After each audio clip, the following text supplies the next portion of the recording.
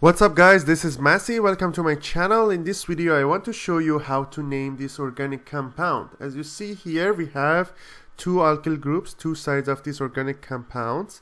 We have ethyl group here and we have propyl, isopropyl group in this side. So the first thing we can say, we have ethyl and isopropyl, so we can call it ethyl isopropyl ether. The other name for this one is gonna be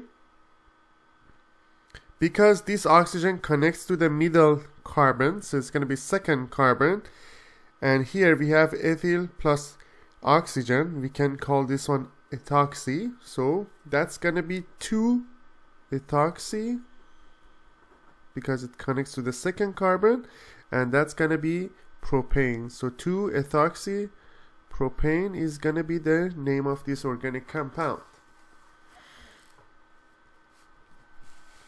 so basically that's gonna be the name of these two organic compounds the one of them is going to be IUPAC, the other one is going to be the common name. I hope you enjoyed this video. Please leave me a comment if you have any question and I get back to you as soon as possible.